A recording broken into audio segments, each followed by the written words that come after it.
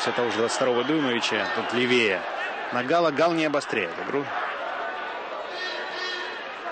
Заброс хороший на Гришина. Опять его упустили. Прострел, удар 1-0.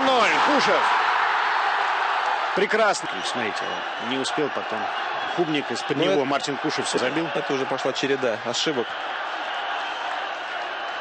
На мгновение буквально.